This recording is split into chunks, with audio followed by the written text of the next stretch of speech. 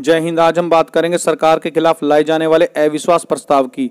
लोकसभा में विपक्षी दलों की तरफ़ से सरकार के खिलाफ लाए जाने वाला प्रस्ताव अविश्वास प्रस्ताव या निंदा प्रस्ताव कहलाता है। अविश्वास प्रस्ताव एक संसदीय प्रक्रिया है जिसके तहत विपक्ष मौजूदा सरकार को चुनौती दे सकता है। अविश्वास प्रस्ताव क्यों लाया जाता है?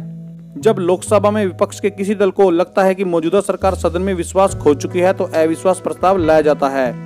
इसे अंग्रेज़ी में नो कॉन्फिडेंस मोशन कहा जाता है। संविधान में इसका उल्लेख आर्टिकल 75 में किया गया है। हालाँकि यह प्रक्रिया इतनी आसान नहीं है। अविश्वास प्रस्ताव पारित करने के लिए लोकसभा सेक्रेटरी जनरल को लिखित में पत्र देना होता है।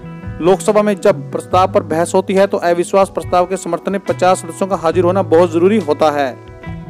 लोकसभा अध्यक्ष यह तय करते हैं कि प्रस्ताव पर चर्चा और बहस के लिए स्वीकार किया जाए या नहीं।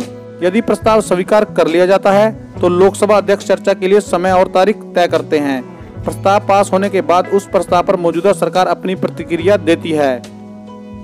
उसके बाद विपक्षी दलों को प्रस्ताव पर बोलने का मौका मिलता है।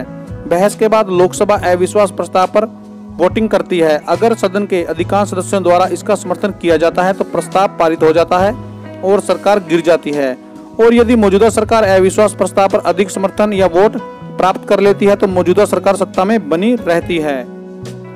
उन्नीस में सबसे पहले जेपी कृपलानी ने नेहरू सरकार के खिलाफ अविश्वास प्रस्ताव दिया था। उन्नीस सौ उनासी में मोरारजी देसाई ऐसे पहले प्रधानमंत्री थे जिनकी अविश्वास प्रस्ताव के ज़रिए सरकार गिर गई थी। अब तक कुल 27 बार अविश्वास प्रस्ताव लोकसभा में पेश किए जा चुके हैं। सबसे अधिक 15 बार अविश्वास प्रस्ताव इंदिरा गांधी के खिलाफ लाए गए थे। जय हिंद।